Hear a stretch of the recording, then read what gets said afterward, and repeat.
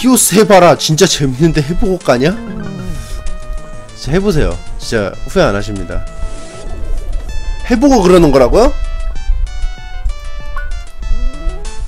지금은 달라졌어요. 또 업데이트 됐어요. 업데이트 할 때마다 해보고 가세요. 업데이트 전에는 의미가 없어요. 왜냐면 히오스는 계속 바뀌거든. 끊임없이 진화를 추구하는 게임이에요. 어제 히오스가 오늘 히오스가 아니야. 오하 아몽이라는 그 사자성 아세요? 예전에 어리, 어린 시절의 여몽이 아니에요. 계속 끊임없이 진화합니다. 그럼 뭐 뭐야? 어제 히오스 다르고 오늘 히오스 달라. 그리고 또 요번에 대규모 업데이트까지 돼. 어?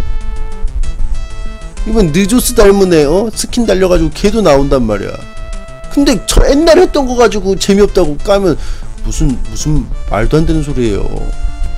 최근에 패치된 걸 해보고 까야지. 해보고 까라는 얘기가 그거예요. 새로 나온 걸 해보고 까세요 이번에 패치됐죠 해보고 까세라고 더 이상 그 해보고 까는 거는 뭐라고 하지 않습니다 제가 사, 사, 사, 상인입니다만. 상인입니다만 Sang and I've need men. 상인입니다만 무엇을 사시겠습니까? UB. Quan Wu. Ju A A Ing B. I I I I I I I I I I I I I I. 하야 야야야야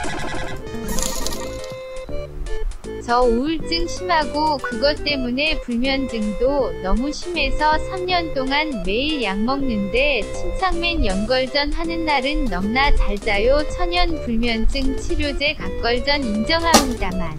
아 그래요?